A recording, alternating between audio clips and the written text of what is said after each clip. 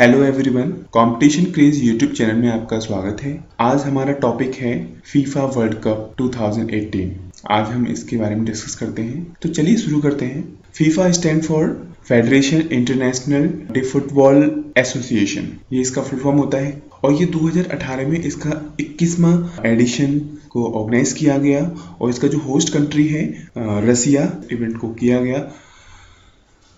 अब हम बात करते हैं रसिया की। तो रसिया की कैपिटल है मॉस्को और करेंसी है रूबल और इसके जो प्रेसिडेंट हैं, यानी रशियन प्रेसिडेंट व्लादिमीर पुतिन। और ये जो इवेंट हुआ है, वो 14 जून से 15 जुलाई तक हुआ है, यानी एक महीने का इवेंट रहा। और इस इवेंट को फ्रांस ने फीफा वर्ल्ड कप 2018 को जीता है। इन्होंने क्रोशिया को हराया चार दो से। अब हम फ्रांस की बात करते हैं। तो फ्रांस की जो कैपिटल है, वो है पेरिस। करेंसी है यूरो। और प्रेसिडेंट है इमेनुअल मैक्रॉन। और प्राइम मिनिस्टर है Edouard Philippe France this FIFA World Cup won in second time यानी फ्रांस ने ये FIFA 2018 World Cup second time जीता है। इससे पहले इन्होंने 1998 में जीता था। यानी ये जो इवेंट्स है या ये जो फीफा वर्ल्ड कप है, फ्रांस ने 20 साल बाद जीता है। अब इन्होंने जो है क्रोशिया को बीट किया। तो हम क्रोशिया की बात करते हैं। तो क्रोशिया की कैपिटल है जेरेव करेंसी है क्रोशियन कुना और इसके जो प्रेसिडेंट है Kolinda Grabar Kitarovic in FIFA World Cup 2018 32 nation participate यानी इसमें 32 टीमों ने पार्टिसिपेट किया जो डिवाइडेड है एट ग्रुप्स एट ग्रुप्स में डिवाइडेड है for coveted trophy for the quadrennial months long event यानी ये एक महीने का इवेंट है जिसमें 32 नेशन टीम ने पार्टिसिपेट किया, जिसमें एट ग्रुप्स बनाए गए।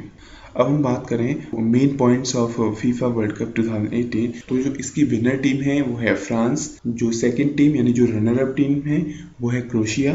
और जो थर्ड यानी सेमीफाइनल में जो थर्ड टीम रही है, वो है बेल्जियम और फोर्थ है इंग्लैंड फीफा के जो प्रेसिडेंट हैं, वो हैं गिन्नी इन्फेंटिनो ओके तो इस इवेंट को फ्रांस ने जीता है तो इसकी जो फ्रांस टीम के जो कोच हैं देदियर चैम्प अब हम फीफा अवार्ड्स की बात करते हैं, जो 2018 में मिले हैं. तो गोल्डन बॉल अवार्ड ये गोल्डन बॉल अवार्ड मिला है लुका मॉड्रिक को, जो क्रोशिया की टीम के कैप्टन हैं। Golden ball award this is main importance award for your coming banking या ऑल कॉम्पिटेटिव एग्ज़ाम्स ओके और एडिडास गोल्डन बूट अवार्ड ये मिलता है जो सबसे ज़्यादा मैक्सिमम गोल या सबसे हाईएस्ट गोल करता है। तो ये किए हैं हैरी केन ने, जो इंग्लैंड से हैं। इन्होंने सिक्स गोल किए अपनी टीम के लिए। नेक्स्ट है गोल्डन ग्लोब अवार्ड जो गोल्डन ग्लोब अवार्ड है, ये मिला है थिबॉट कर्टोइस को, जो बेल्जियम से बिलोंग करते हैं। और जो फाइनल में मैन ऑफ़ द मैच रहे, वो है एंटोनियो ग्रीजमैन जो फ्रांस से हैं। अब हम बात करते हैं नेक्स्ट अवार्ड की तो फीफा यंग प्लेयर अवार्ड ये मिला है कैलियन मबपेस तो ये जो सबसे यंग प्लेयर हैं, यानी ये 19 ईयर ओल्ड हैं कैलियन मेवापेस जो फ्रांस से हैं इनको फीफा यंग प्लेयर अवार्ड से सम्मानित किया गया। और नेक्स्ट है फीफा फेयर प्ले ट्रॉफी ये स्पेन को दिया गया। ये जो फीफा फेयर प्ले ट्रॉफी है, ये उस टीम को दी जाती है जिसकी एक टूर्नामेंट के अंदर परफॉर्म में कंसिस्टेंसी रहती है। उनको ये प्रोवाइड किया जाता है और इनको जो येलो कार्ड दिए जाते हैं तो वो है स्पेन को दिया गया। तो स्पेन की बात करें तो इसकी कैपिटल है मैड्रिड और करेंसी है यूरो अब नेक्स्ट है सिल्वर बॉल अवार्ड यानी जो सिल्वर बॉल अवार्ड मिला है एडन हजर्ड जो बेल्जियम से है। नेक्स्ट है मैक्सिमम गोल इन फीफा 2018 यानी किस टीम ने मैक्सिमम गोल किए फीफा 2018 में? तो ये किए बेल्जियम ने, जो 16 किए। अब हम मैक्सिमम गोल किस प्लेयर ने किए?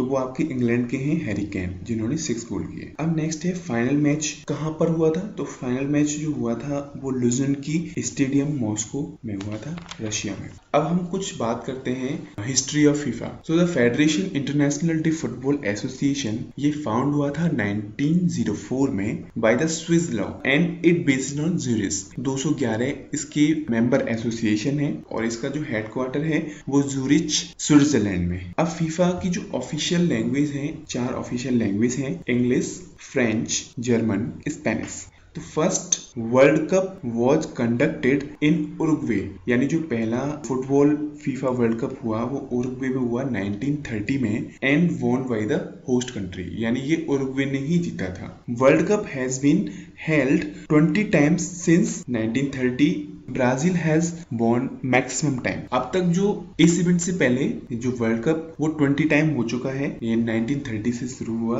और इसमें जो ब्राज़ील कंट्री है, उसने मैक्सिमम टाइम जीता है, यानी फाइव टाइम जीता है। Italy and Germany hold the second place यानी हम इटली और जर्मनी की बात करें तो इन्होंने सेकंड प्लेस को होल्ड किया हुआ है। इन्होंने फोर टाइम इन्होंने इंडिविजुअली टीम्स ने जीता है। अब 2014 फीफा की बात करें तो ये जो जीता था जर्मनी ने। तो जो फीफा वर्ल्ड कप जो ऑर्गेनाइज होता है, वो एवरी फोर ईयर में ऑर्गेनाइज किया जाता है। Just one in history of World Cup two countries एक ऐसी हैं जिन्होंने जो होस्ट कंट्री रही हैं एक साथ साउथ कोरिया और जापान यानी साउथ कोरिया और जापान ने फीफा वर्ल्ड कप को 2002 में एक साथ ऑर्गेनाइज किया था। यानी दोनों कंट्रीज़ होस्ट थी। Okay the World Cup was skipped in 1942 and 46 due to world war second यानी जो फीफा वर्ल्ड कप था, वो 1942 और 1946 में वर्ल्ड वार के चलते इसको स्किप किया गया। Brazil has only nation to play in each tournament यानी जो